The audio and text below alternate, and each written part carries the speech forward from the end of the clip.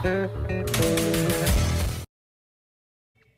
morning, CHS. These are your student announcements for Friday, March 1st, 2024. I'm Mikey Clover. And I'm Alec Fowler. The lunch menu for today is Honey sriracha chicken smackers with roll, bacon Swiss burger, waffle fries, mixed fruit, and a chocolate chip cookie. mmm. Happy birthday this weekend, Sue. Tara Moyer. Have a great day. Al, you know March is reading month? I didn't know that. I heard Alex made a clip on her book though. Yep.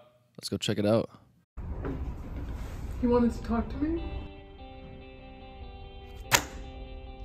You're divorcing me, but we have so many good memories.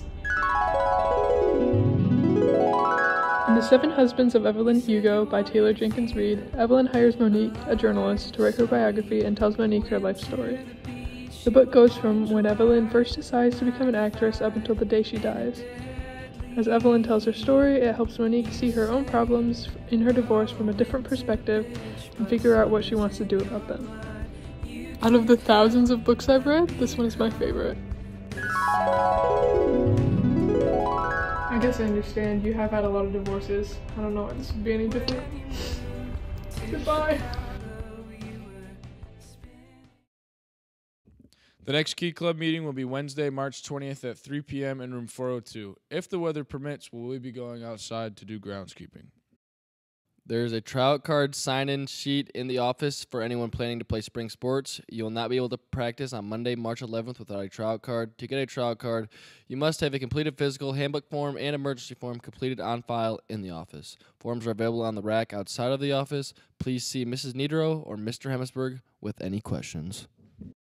Attention National Honor Society members. Our next NHS meeting is Tuesday, March 5th at 7:15 a.m. in the cafeteria. Attendance is mandatory. If you have sold all of your subway cards, you can bring the money to this meeting. Please see Miss Pierce if you have any questions.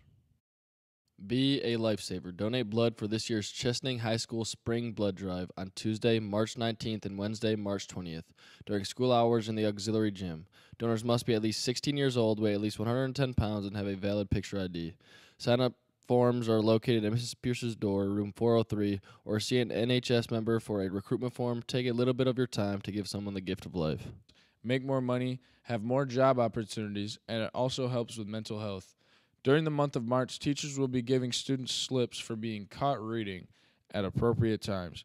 These slips can be exchanged for amazing prizes in the library, so have a good book with you at all times. There will be book talks and trailers on announcements. We will have book trivia for prizes every Tuesday, and at the end of the month, we will have a whole school silent read. So grab a book and start reading. Yo, Mike, did you hear that the Chesaning Indians own the MMAC? I have heard exactly that. Let's go check out this clip. All right.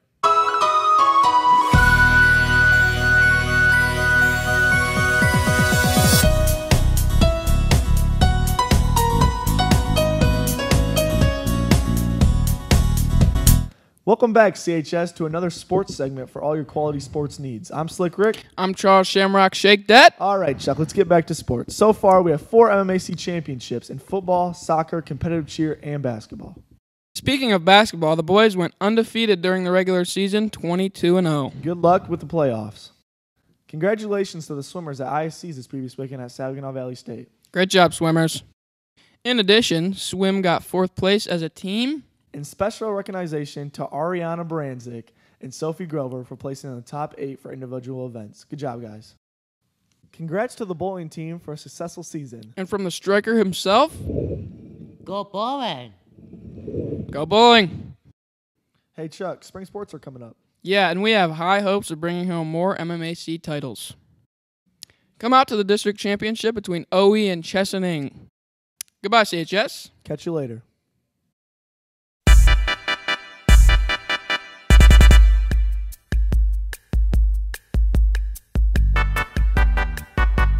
Goodbye, CHS. Have a great day.